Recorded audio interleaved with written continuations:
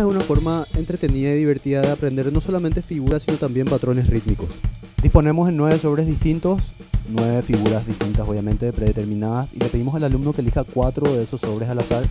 Ponerle entonces, elige la A, después la H, solamente por nombrar algunos, después la C y por último la G.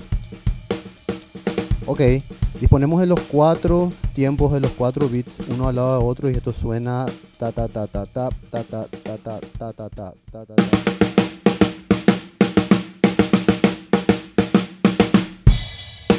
Esto podemos orquestar realmente de la forma que queramos, ¿eh? de aquí más eh, creatividad y mucha imaginación. Las combinaciones realmente son infinitas porque esto podemos desordenar de la forma que queramos, qué sé yo, obviamente volver a disponer adentro de los sobres también de manera eh, desordenada también o si no te puede tocar un comodín ¿eh?